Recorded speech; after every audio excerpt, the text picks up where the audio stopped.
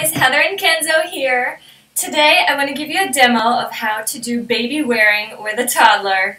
They are not light and they are quite squirmy, but it's a bit easier than with a newborn just because they're less fragile. So uh, I've got here my handy dandy Mei Tai baby wrap, which is kind of like a less bulky Ergo. Instead of all the buckles, it has ties, which can be a little scary if you're not used to them.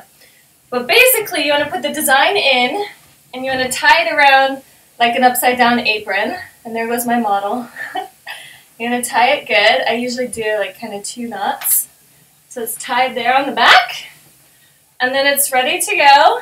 And you want to scoot it around to the back because technically, I think it's if they're over 25 pounds, it's not really good for you to be carrying them on the front.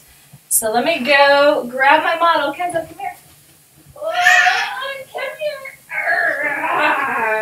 Okay.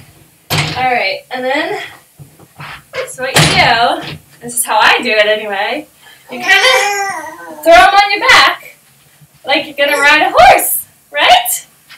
And then you find this one and you pull it up. All right?